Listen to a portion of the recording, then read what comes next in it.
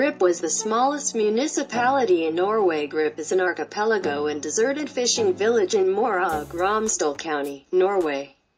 It is located about 14 kilometers northwest of the town of Kristiansund in the Norwegian Sea.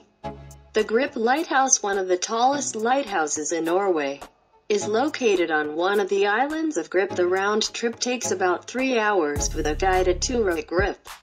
Grip has a long and stirring history so far back that the origin of the name is unknown.